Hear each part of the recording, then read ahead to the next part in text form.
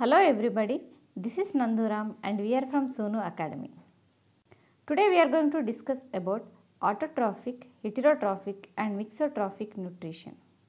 Children, you already learned that all the living organisms required a continuation supply of carbon containing compounds for growth and for building their body structures. And the energy is also required to maintain their daily activities and it is derived by oxidizing either organic or inorganic compounds. Such chemical compounds required for body building and for energy production are called nutrients. Intake of nutrients into body by an organism is called nutrition. Nutrients may be very simple or very complex inorganic or organic compounds. The difference between the organisms require that different types of nutrients. For example, several bacteria can survive with a supply of few inorganic salts. Some plants use water and carbon dioxide and synthesize carbon compounds like carbohydrates. They also use simple nitrogen and sulfur containing compounds to synthesize complex molecules to require for their growth.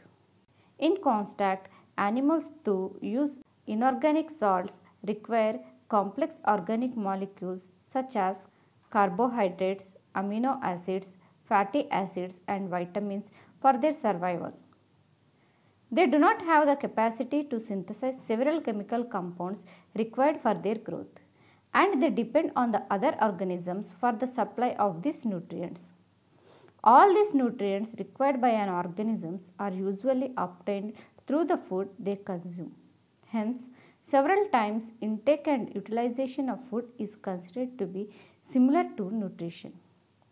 Different organisms use different methods to obtain their nutrients, especially of carbon sources.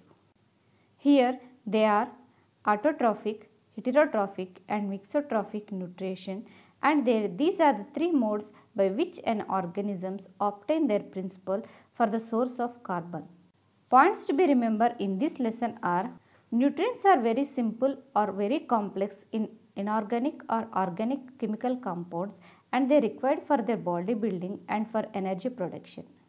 Intake of nutrients into the body by an organism is called nutrition. Several bacteria can survive with a supply of few inorganic salts Plants use water and carbon dioxide and few simple nitrogen and sulfur containing compounds. Animals do not have the capacity to synthesize several complex organic molecules such as carbohydrates, amino acids, fatty acids and vitamins for their survival. They depend on other organisms for the supply of these nutrients. There are three types of nutrients. Let us see what are there. They are autotrophic, heterotrophic and mixotrophic. These are the three types of nutrients.